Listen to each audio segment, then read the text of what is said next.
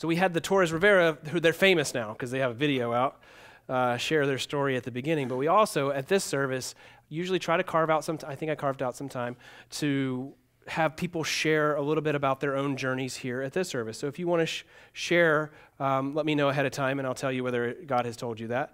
And Uh, but, but, tonight, um, Anne Marie is going to share, and this is kind of like I've been, I have the, uh, the, uh, the ability to make the staff or to strongly encourage the staff to share a little bit about who they are and what has drawn them to Christ and to this family. So Anne Marie is going to share. If Anne Marie want to come on up, I'll give you a microphone. And remember, Anne Marie, hold this microphone really close to your mouth so that it picks. Oh yeah, you're a singer. You know all that stuff. Yeah.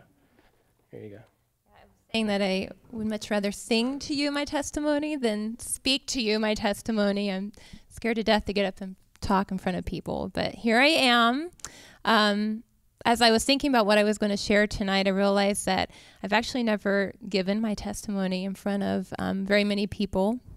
Um, so I hope you don't find it boring. I don't have um, anything real shocking or anything really to share tonight, but as I look back on my life from my childhood until now, I think what I really see in my life is faithfulness and how God has just been extremely faithful to me. And just looking back and seeing circumstances and situations from when I was when I was a child until now, how He has um, just worked those out to shape me and mold me to be who I am today. I was born and raised in a very strong Christian home. I was in the church from the time I was a newborn baby until now. My family um, was very involved in the church. They served. If anytime the doors were open, we were there.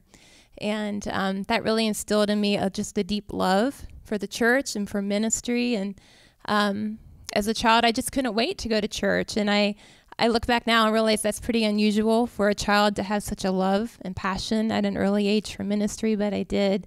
And um, when I was six years old, I remember very clearly sitting in church next to my parents, and I grew up in a Baptist church, so they were big into altar calls, and um, they were playing the hymn just as I am. But I remember saying, I want to go forward. And um, even at six, I realized that I was a sinner. I knew that I was a sinner and that I needed Jesus in my heart. I needed Jesus in my life. And so I went forward with my mom and I'm just surrendered my little life to Jesus. And um, a couple months later was baptized. And really, just from that time up through high school, God just continued to use me in the church and in ministry. When I was in high school, the church that I grew up in was um, just very great about allowing me to serve and to lead in ministries. Um, they let me lead worship, which I think is a pretty unique opportunity now looking back that they would allow such a young person um, to have those opportunities. So I encourage us as a church to invest in our youth, to invest in the young people, because someday they will be leading us. And I'm very grateful that the church I grew up in had that wisdom and insight. Um, when I went to college, I had had the image of being the sweet church girl and was kind of quiet and shy. So I decided that I was done with that. And I um, wanted to, I knew as an extrovert, I knew deep within me I had an extrovert personality. And so I joined every organization that you could join. And really, I look back in college and realize that I really did blossom, and God used those years um, just to grow me. But I also had a, a, rebellious streak in me as well, and was in a sorority and did my fair share of partying, and really was just kind of focused on myself and not at all on God and what His will and plan was for my life. And then um, the summer before my senior year in college, I was given an opportunity to go um, on a mission trip to the Hopi Indian Reservation in Arizona. And I wish I could say that I went um, out of the goodness of my heart, but I just went because I thought it would be fun. And um, that God can use us even when our motives are maybe not the best. And while I was there, He just really grabbed hold of my heart and just changed me and opened my eyes to how selfish I had been. And he did it in such a loving and gentle way. But um, I came back from that trip just a changed person and really just recommitted my life back to the Lord and back to serving Him and just um, repented for just the time and the years that I had um, forsaken Him, really. And um, came back and was asked to become involved in our student ministry at the church I grew up in. And so I did that. My the school, the college that I went to was nearby, and so um, I was able to be really involved in our student ministry. And about that time, they had hired a young youth pastor, and he was also a worship leader. And so the two of us would sing a lot together, and we began dating. And um, I look back now and just am very thankful for that relationship because I feel like God really used him to help ground me spiritually and also just to help that passion that I had for ministry and for church and for worship. He was really helped encourage that. Um, so, right before I graduated from college, we broke up, and I was devastated. I was brokenhearted. Um, I felt like all my dreams and plans and everything I thought was going to happen just came crashing down. And um, for probably nine months, I really struggled. I struggled a lot with depression. Um, I remember people would come up and ask me if I had an eating disorder because I had lost so much weight, and I didn't. I just was so depressed. I just didn't have an appetite. And so one night, I was really crying my heart out to God, and um, I just felt His presence just so strongly um, in my life. And the peace that came over me is just the most beautiful thing I think I've ever felt. And um, He just comforted me in a way that I've never experienced before. And the scripture, Psalm 37 4, just kept coming to my mind. And so when I read it, it's delight yourself in the Lord, and He will give you the desires of your heart.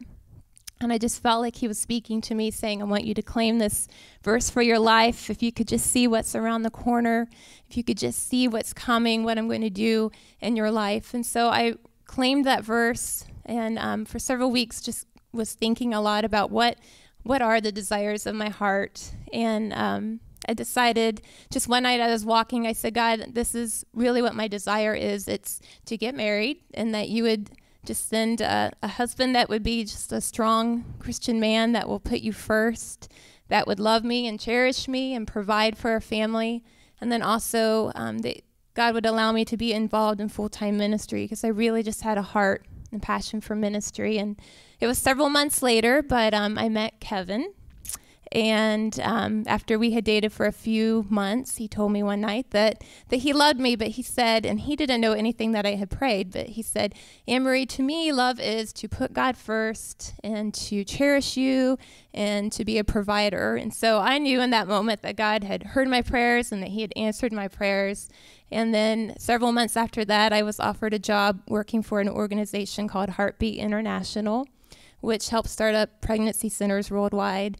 And then from that job, that led me to um, be offered a job as a director for a crisis pregnancy center. And so God was just very faithful to answering my prayers. And I'll kind of fast forward. Kevin and I, Kevin and I got married, and we moved to Florida in 2004.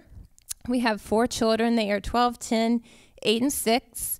And so while I've been in Florida, I haven't really been able to have a full time job in ministry. I've had a full time job as a mom. Um, but God has been very faithful in just allowing me to continue to be involved in ministry as a volunteer and serving, um, in particular with worship. And um, about three years ago, there was just uh, just another moment in my life where I feel like God just really spoke to me. Um, it was just this great stirring in my heart, and I talk about it's almost like a magnet. Like I just I couldn't help but just fall on my knees and I just felt like he was saying it's time for you to do more musically, and I want you to be a worship leader. And um, this went on for about a week, and you sometimes hear pastors talk about they got a calling, and I just really felt like that was my moment where I got a calling to step out and to be a worship leader. And um, in that time of surrender, I just said, "Okay, God, you, I want to do more for you, but you have to open the door." Um, artists can sometimes struggle with pride and artists can have selfish ambition and I didn't want that. I said, God, just please you open the door, you lead the way and I will walk through, but I want it to be from you.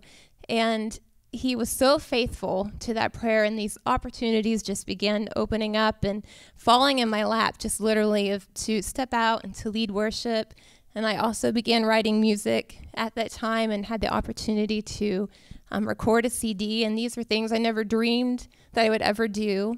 And I just really knew that that was God's hand and all that. Um, and then just in the past year, I began praying that He would open up another door for me to have a job, even a part time job, that I could be involved again in ministry and worship, especially because that's my heart and passion. And so when this opportunity came open here, I never thought you would hire me, but you did. And I'm so thankful to be here. And it's just an answer to prayer. I love coming here every Monday night and worshiping with you. Um, to me, the songs that we sing, they're full of scripture, they're full of hope and encouragement. And so I know when I come in here, there are times that I'm tired. I'm a mom and four kids, and life can just be crazy. And so I know our lives are busy. So my prayer is just that as we sing, that, that you walk away just feeling encouraged and that you walk away feeling blessed and inspired. And really as me as a worship leader there's a song that i keep hearing on the radio and i feel like it just kind of sums up my passion. It sums up my vision and my prayer each day. Um, and it's let them see you and me. Let them hear you when i speak let them feel you when i sing let them see you let them see you and me and that's just my prayer as the worship leader here and just even in my everyday life thank you